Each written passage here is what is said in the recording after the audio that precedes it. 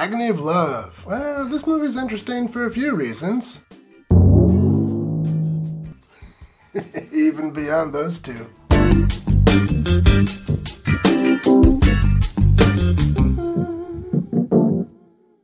Welcome to Xploitation Reviews, and me, Rob. Today I'm taking a look at The Agony of Love from 1966. This film lies more on the kinky side of roughie, and is mostly notable for the people involved in its production. This is the directorial debut of William Rostler. Uh, he was a science fiction author and cartoonist. Uh, he won the Hugo Award four times, the Nebula Award one time. Yeah, so he was like respectable. You may have heard of that short story, I Have No Mouth and I Must Scream by Harlan Ellison. Yeah, well, the title of that story comes from a William Rostler cartoon. Uh, Ellison used it with permission. But being respectable is not what gets you on this channel. William Rostler's movie is on this channel because in addition to being respectable, William Rostler was also a pornographer. In fact, if you want to see one of his softcore films, check out Suburban Pagans. that movie is, ah, wow, the women in that movie are just unbelievable. And William Rostler was clearly having fun playing around with them. that guy lived his best life. Also of note is the producer of this film, Harry Novak. Uh, he was something of a legend in the exploitation world, and if you're looking for more films to watch, uh, chasing his name down the rabbit hole is not a bad idea. and when you get to the bottom of that hole, tell Bethel Beckler that I said hi. Anyway, enough background, let's check out The Agony of Love. We open on Barbara, played by the lovely Pat Barrington, running away from someone. The music's pretty cool, and the nighttime shots of the city look great. But how do we get to this point? Time for a flashback. Barbara visits her husband, and he's something of a workaholic and all but ignores her. And then we learn what Barbara does in her free time instead of being a stay at home June Cleaver type. she secretly rents an apartment and pays for it by being a call girl. Now that you've bought me, what do you want me to do? Oh. Ah. I don't think June Cleaver ever did that. Unfortunately. But Barbara's unhappy, and she regularly has nightmares and then talks to a psychiatrist about her life and those nightmares. He tries to get her to understand why she is the way she is, but more often than not, she just lashes out in anger. And it's kind of left open to interpretation why she is the way she is. Yeah, maybe if she had a more understanding, involved husband, it would be different, but she doesn't. And that's pretty much it as far as plot goes, even though that's only a couple of sentences. Uh, but that's that's the movie. She works in her apartment. Sometimes she works with another girl, so there's some variety in those scenes. Um, she talks to a psychiatrist, and she has nightmares. Brandy Barbara, Brandy Barbara, Brandy Barbara, Brandy Barbara, Brandy Barbara. hey, check it out. That's the director, William Rostler.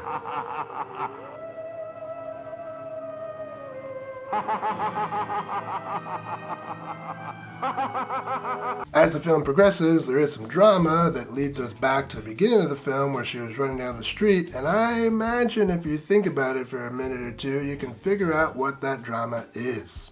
So let's talk some highlights. Well, I really like Pat Barrington. Uh, she's got this really cool look. It's like part 50s skinny housewife and part. That's a good combination. Sure, she's not the best actor in the world, but. Mmm, combination.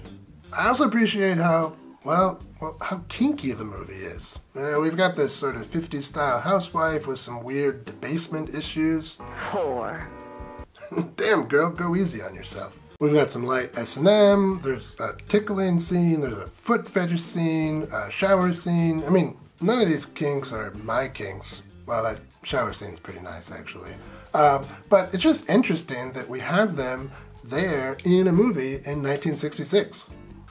I firmly believe that the TV and Hollywood movies from the Code era gives us an unrealistic view of what America was like in the 40s, 50s, and 60s. The production code was so puritanical, it's easy to come to the conclusion that America itself was so puritanical, uh, but it wasn't. Sure, parts of it were, but as a whole, it wasn't. And the sexploitation films, particularly the roughies of the 1960s, show us that America was not as puritanical as shows like Leave It to Beaver would have us believe. And yeah, I'm just kind of grateful for their history correcting existence. But despite the film's role in broadening our views of what American society was like in the 1960s, it's not perfect. Like a skinny call girl making time with a rotund John, it has some shortcomings. Well, I know I shouldn't complain too much because I know they had to deal with censorship issues at the time, but the sex scenes are really rather silly.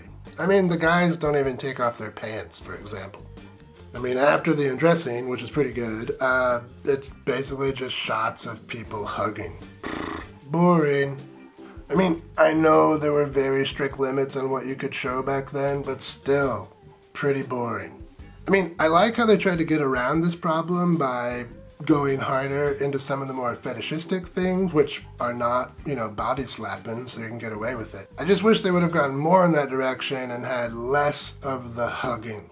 I mean, there's lots of other things they could have done. You know, could have done some food play or some oil massages or some costumes. Well, I'll just stop there. If I start listing all the sexy things they could have done that are not, you know, slapping, uh, this video will go on for days. Beyond these shortcomings, uh, some people might not like these dream sequences. Uh, personally, uh, even though I don't normally like dream sequences, I didn't mind them here. I mean, it's obvious it's a dream, so we don't get that fake out, uh, which is good because that's what I really hate about dream sequences. They give the film kind of a psychedelic feel, not nearly as psychedelic as William Rostler's Lila, Mantis in Lace. Uh, he'll do that one a few years after this. Uh, that, that film's pretty crazy.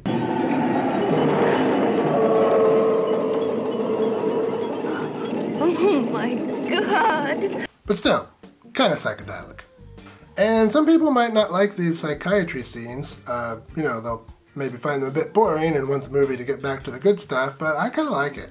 It's an interesting take on like a sexploitation film. Is she damaged? Is she just bored being a housewife? Is she unloved by her husband? Uh, can money really fill that gap? Um, yeah, these are interesting questions. I mean, I don't want to give the idea that the movie's super interesting to watch, but it's interesting enough. And so, on my head scale, I say stream it.